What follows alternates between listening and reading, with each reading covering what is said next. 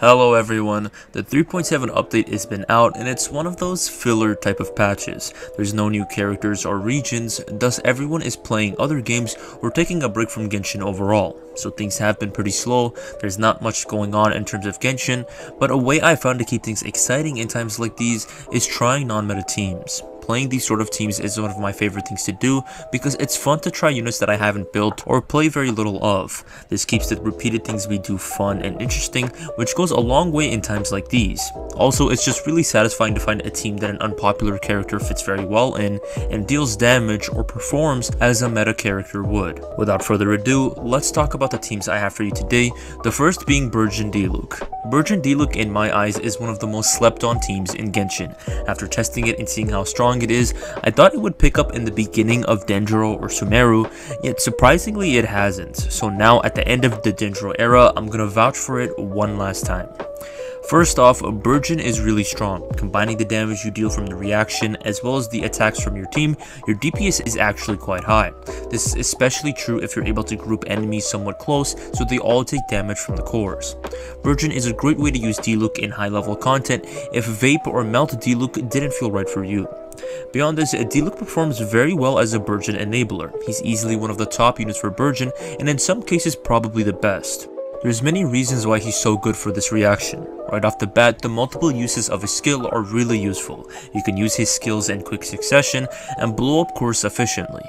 Next with his burst, it's another pyro attack that can be used to blow up cores. A useful aspect of it is that it has a fairly wide AoE, so when you use it, you'll be hitting essentially all the cores on the field. So long as enemies are close to these cores, no core will go to waste.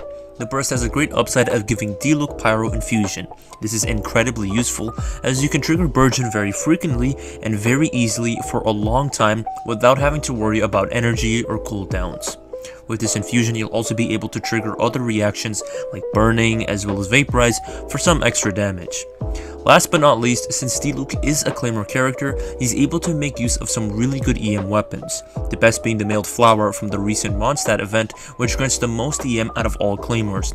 But if you don't have this Claymore, there are still really good free-to-play options you can use, like the Rain Slasher, the Blood-Tainted Greatsword, and there's also the Aquamarine if you wish on the weapon banner. As for the units to play alongside Diluc, some of you are probably wondering if Nahida is needed for this team, and no, she's not. She makes this team quite a bit better, but you can still get great results with other Dendro units, like the Traveler for example, albeit with a little more caution.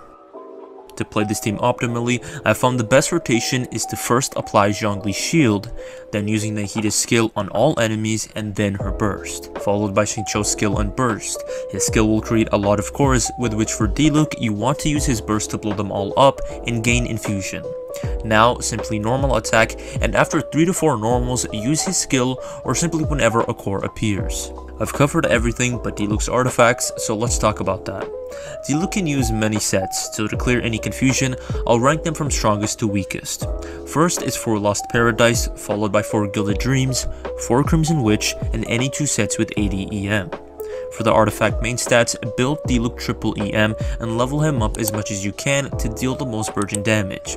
The final tip is to use the sacrificial sword on Xingqiu. Any ER sword is the best for him, but since his skill produces so many cores so quickly, if you have the sac sword especially in high refinements, using it can lead to more damage. Let's now talk about the second team, of which is dedicated to all of you Eula wanters, if she ever releases. In truth, this team can be used for any physical DPS. This team works wonderfully with Jean, but I highly recommend this for Eula since as strong as she is, a big thing that holds her back is her teams. Super Conduct is quite weak, yet you can fix this by adding other characters to better the reaction. This is Taser Conduct Eula. This team revolves around performing Superconduct to buff Eula's attacks and performing other reactions, namely Taser to increase the damage you deal, Freeze which makes fighting enemies much easier, and last but not least, Shatter which further adds to your damage. Like always, you can use the characters you see fit, but I found this team to be the best. Firstly, since Eula will be on field for majority of the time and right in front of enemies normal attacking, she will need a character to keep her alive, which Beidou does. Beidou's burst will reduce incoming damage while also dealing good electro damage for superconduct. Xingqiu does the same but dealing hydro damage. By combining these two, Eula can have up to 66% damage reduction, which is very significant, and for some added comfort, Xingqiu's skill will heal Eula after its duration is complete. Lastly for Rosaria, she is a flex bot, but she's really good in this team since she gives energy to Eula, increases crit rate, and at C6, she further decreases physical resistance. Onto characters builds, everyone is built normally, but I recommend giving at least two characters Favonius weapons, preferably Beidou and Xingqiu, and in some cases even Rosaria. This is mainly for Beidou and Eula since they will struggle with energy, and it is important to get their burst back often. Let's get into the rotation which starts off by just using skills and bursts, first Beidou's, Xingqiu's, and Rosaria's. This is done so Beidou can gain energy and get her burst back every rotation. After all this, switch to Eula, cast her skill, her burst, and then her hold skill. Now normal attack as much as possible. If her burst isn't ready when you switch to her, just normal attack with her all the same. I also want to mention the Eula Raiden variation of this team. I must say this team is really fun, combining both the gameplay of Eula and Raiden feels refreshing since it doesn't feel like there's just one DPS in the team, but two. I will say though, I probably prefer the original version of this team. This specific team is better suited for the Abyss since Eula Raiden is one of Eula's strongest teams. With Raiden alongside Eula, Raiden makes triggering Superconduct very easy through her skill, which has a much longer duration than Beidou's burst and no energy restrictions, but most importantly, Raiden batteries Eula very well while dealing high damage in the process. The next team has to do with an old character I bet you all have, was probably C12, Chongyun. Now, I haven't heard anyone talk about Chongyun in so long. I can't lie, I almost forgot he existed, but don't let this sway you away from him. Chongyun has always been a solid or pretty decent character, but in this team, which is Sunfire Chongyun, he can deal some pretty crazy damage. This is all thanks to the Sunfire combo of Jean and Benny. The two work amazingly together as combining their bursts on top of each other creates a field that constantly applies pyro to enemies and greatly buffs character damage. Because of this, Chongyun is able to deal very high damage. His burst, which is his main source of damage, acts as a nuke. All of his swords will melt and deal massive damage, and with high investment unlike my Chongyun, you can deal even more damage. Chongyun's skill will also melt enemies, and beyond Chongyun, Jean will be dealing tons of damage too. Since her burst will be constantly swirling pyro, if you build her purely EM, which I recommend to do, Jean's swirl can at times deal around 20k, which really adds to the DPS of this team. Rosaria will also be dealing a lot of damage while fitting into this team really well. This is why I chose her, though you can use other cryos like Shen He for example. This team is exceptional when it comes to bosses or single target enemies, but for multiple enemies it does fall off a bit since the team's main source of damage lasts for around 7 seconds and in a small area, so not all enemies in the field will be hit by this. But if you can group enemies together, this team becomes much better for multiple enemies. To build Chongyun for this team, you want to focus on EM and a bit of attack.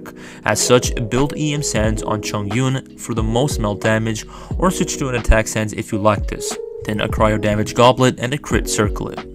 For the actual set, you can combine the two sets of Blizzard Strayer, Noblesse, and any two sets that increase attack or EM. For Emblem Fate or the full Gilded Dream set are two other strong options. Moving on to weapons, you can give any of the EM weapons I mentioned in the first team. You can also give Chongyun any 5-star claymore, and they'll work great on him, aside from the Skyward Pride which isn't as good as the other 5-star claymores. In addition to these, 4-star attack percentage or crit weapons can be really good as well. Some notable claymores are the Luxurious Sea Lord, the Lithic Blade, or the Serpent Spine. Speaking of Serpent Spine, let's slither to the team rotation. I'm sorry. First, start off by using Rosaria's skill and then Jean's skill to decrease the enemy's cryo resistance. Now use Benny's burst and skill and then Jean's burst right after. This will cause all enemies to be affected by Pyro, so cast both Chongyun's burst and skill. After Chongyun, cast Rosaria's skill on Burst. At this stage of the rotation, just normal attack until Bennett's burst disappears, and regain character's energy for the next rotation. Once Benny's burst is ready to be used, repeat the rotation. With the last three teams covered, we move on to the last team which you probably haven't thought of, and maybe even think is dumb, but I promise you it's good. It is a Burning Tighnari. Burning is probably the most neglected Dendro reaction, and for good reason. Amidst all the other reactions, Burning is not able to hold on its own.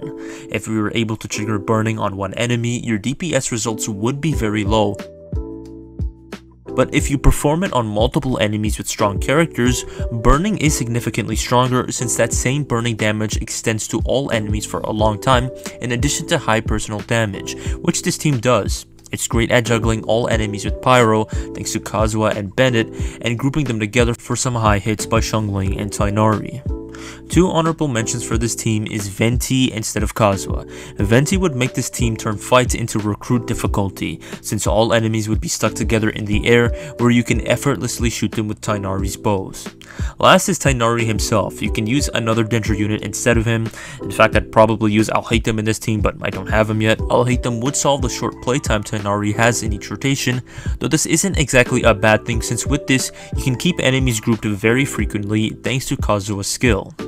Before I get into the rotation, let's quickly go over the unit's builds. With Kazuha, I recommend to use the Sac Sword if you have it to high refinements. This will allow Kazuha to use his burst every rotation, which you need to do, and it'll allow him to use his skill twice. This is really useful for reapplying burning and buffing pyro, but it's also a great way to maintain the control of the battle. For Tighnari, you should use for Deepwood since he will be the only one able to use this set, and the Dendro res it gives to enemies is so high that it beats using any other set instead of it. Before the rotation, cast Benny's Burst and Skill, Kazuha's Burst and Skill, and this time Xiangling's Skill and Burst.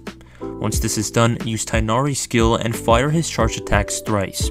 Follow this up by using his burst, which when that's done, use Kazuha's skill again. Now regain Benny's burst and repeat this from the top. And that is all the non-meta teams I have for you today. If you enjoyed this video, please consider liking and subscribing and let me know what do you think of these teams. Do you think they're strong or weak? And what are the non-meta teams you use for the Abyss or Overworld? Also, how are you coping with Genshin's slow patch? Are you trying other games in the meantime, or are you sticking with Genshin? Please let me know this in the comments, and with that, I'm gonna end the video. Thank you all for watching, take care, and thank you once again.